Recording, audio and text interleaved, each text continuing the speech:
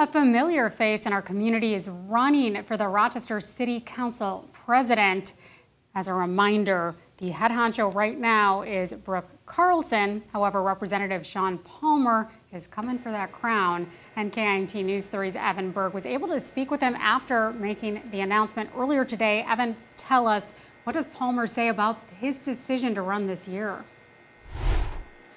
Jess Palmer told me that a big part of his campaign this year is going to be keeping the council chambers nonpartisan. In fact, uh, since he isn't officially uh, since he isn't officially a member of any political party, and Palmer says he's running on that idea that the city council presidency works best when it's nonpartisan.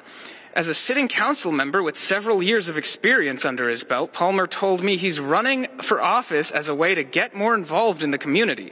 And he's already received some endorsements from past Med City leaders, like former mayors Dewey Day and Ardell Brede.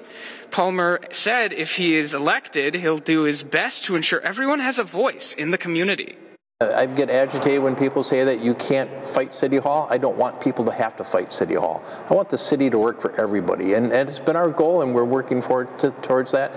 I think bringing the city together, the city council together, working as one. And as for who else might be running for that seat, uh, only time will tell. I reached out to Brooke Carlson, the sitting city council president, and she said she's going to be waiting until April to make any official announcements on whether she'll be running for a second term. Live in Rochester, Evan Berg, KIMT News 3. Thank you, Evan. We'll continue, continue to follow this developing story.